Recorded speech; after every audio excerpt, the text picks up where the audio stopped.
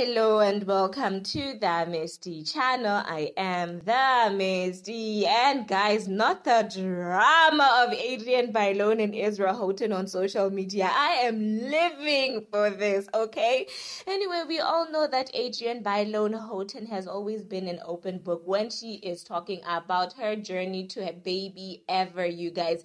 Anyway, she recently did an interview with People and she went on to reveal that she easily spent over a million dollars on IVF treatments before welcoming her son through surrogate. Of course, people had nasty comments in the comment section, but guess what, you guys? Israel Houghton had some time on his hands and he had his phone and he hit reply. It's drama, okay? Anyway, listen to this. One person went on to say, next time get a younger baby daddy, as if that cures infertility.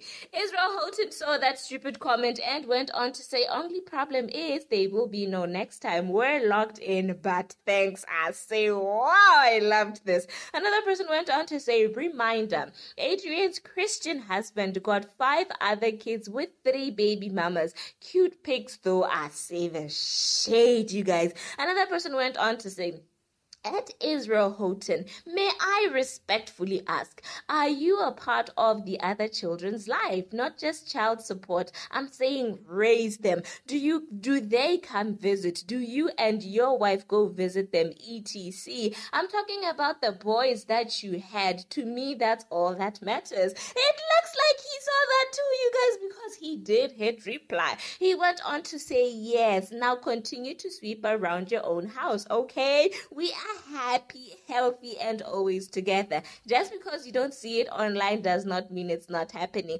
Thanks for asking. Take care. Guys, this is insane. Y'all better not try Israel Houghton, okay? He is all about his wife and he's not gonna let any of you talk down on her. I loved this, okay? Can you hear my excitement? This man is out here defending his wife, okay? Anyway, do feel free to leave your comments down below. Do give this video a huge thumbs up and don't forget to click subscribe. And I'll see you later.